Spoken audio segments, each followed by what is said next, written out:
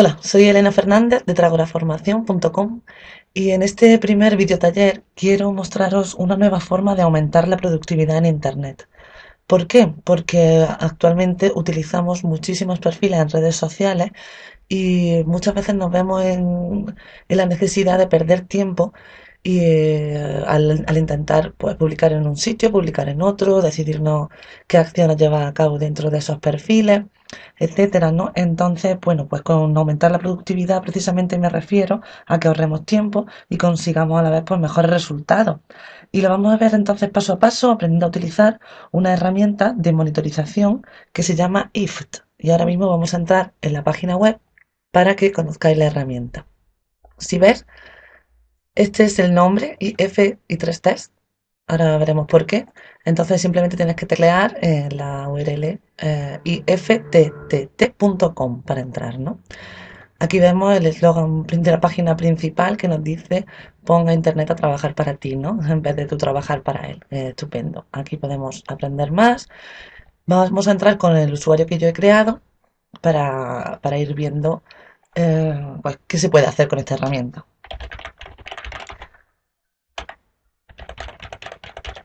Simplemente tienes que registrarte siguiendo los pasos típicos de registro de cualquier, de cualquier página web o red social. Y una vez entramos dentro, vamos a fijarnos primero en donde pone canales. Es decir, hay infinidad de canales. Ahora mismo yo estoy utilizando siete solamente, ¿vale? En esta, en esta página de prueba que he creado, ¿no? Y entonces pues se van multiplicando los canales por, las acciones que se pueden llevar entre ellos y salen pues muchísimas tareas de combinación entre ellos.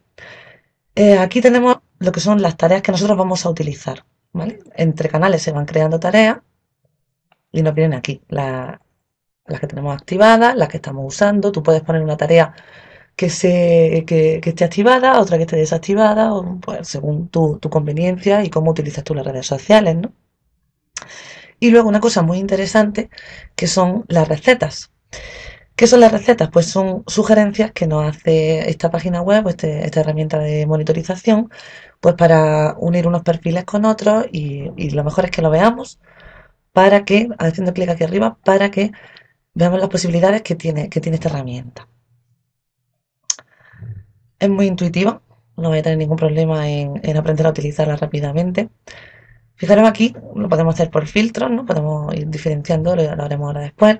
Pero mira, ahora mismo, por ejemplo, aquí te dice, cuando la, eh, la foto de perfil de Facebook cambia, pues que se actualice esa información en tu perfil de Twitter, ¿no? O que, por ejemplo, que pueda dar las gracias a la gente cuando te menciona automáticamente. ¿Vale? Hay muchísimas, como ves, si vas bajando hay muchísimas opciones, ¿no? Incluso para si guardas una foto, fíjate aquí en Instagram, ¿vale? Se crea, un link para tu carpeta de Dropbox si la tienes compartida. Infinidad de, tareas según las redes que tú tengas y puedes programarla como quieras.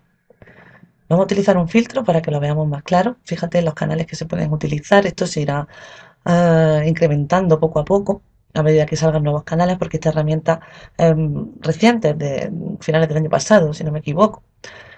Entonces, ¿ves? Tenemos, pues utilizamos Blogger, Digo, Delicious, Dropbox, Evernote, Facebook, luego la página de Facebook, que es muy importante. A la vez de lo que es el perfil, es importante tener la página de Facebook, la feed sea, el feed de tu, de tu blog, eh, las fotos que subes a Flickr. Vaya, tenemos muchísimas herramientas, ¿no? Muchísimas redes sociales, LinkedIn.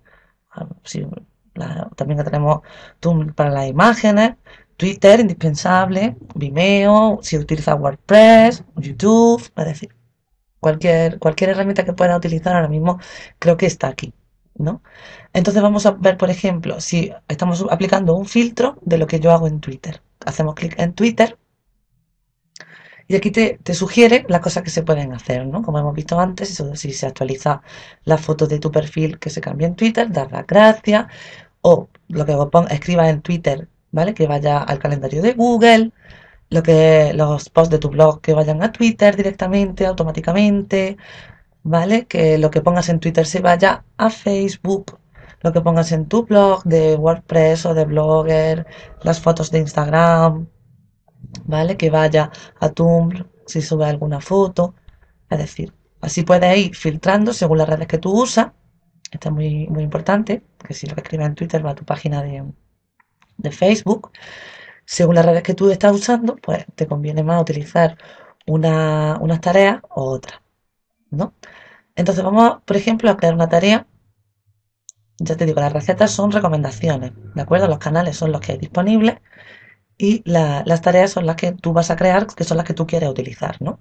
Aquí me dice que no he creado ninguna tarea, exacto. Vamos a hacer clic en crear una nueva tarea. Y ahora aquí vamos a ver por qué tiene este, este nombre, esta herramienta, ¿no? Que IFTTT. Pues aquí lo veis, ¿no? If this, then that. Quiero decir que si hago esto, entonces ocurre lo otro. Vaya, es algo muy, muy intuitivo y muy fácil. Eh, también es muy original. Entonces, para comenzar, pues decimos qué queremos que, que, que ocurra cuando hacemos esto. Pues, ¿esto qué es? Por ejemplo, yo voy a decir que, por ejemplo, cuando escribo en Twitter y hago clic en Twitter, cuando escribo o cuando muchísimas opciones que nos van diciendo, por ejemplo, cuando yo publico un tweet, ¿no? Pues vamos a elegir esta. Cuando yo publico un tweet, ¿vale? Que se incluyan los retweets eh, y los replies. Cuando disparamos el gatillo en Twitter, le damos a OK. Entonces, ¿qué ocurre? Tenemos que seleccionar la opción That. Pues vamos a decir que lo publique en mi página de Facebook. ¿De acuerdo? que me lo cree como un mensaje de estado, que se cree un link, que se suba una nueva foto, pues un link. ¿No? Entonces yo aquí voy creando el link de cómo quiero que, sea. Aquí, username, pongo el mío, ¿no? El mensaje de texto y creamos la acción. Si yo publico en Twitter, entonces se crea un link en mi página de, Facebook. La podemos borrar, si hacemos aquí, la podemos activar o desactivar según vamos a hacer algo en, las redes sociales, según la, estrategia que tú estás llevando a cabo, ¿vale? Podemos crear una receta extra, ¿vale? Para unirla, ¿vale? Inspeccionar la tarea. Aquí te dice que las tareas se chequen cada 15 minutos, ¿de acuerdo? Les digo para que, ese, es el tiempo que, tarda, ¿no? Eh, en activarse. Bueno, pues como ves es una herramienta muy sencilla que nos va a permitir realizar ah, acciones en todas las redes sociales en las que estemos presentes, a la vez de contar con actualizaciones de, nuestra página web y publicarla en, diferentes redes según vayamos eligiendo.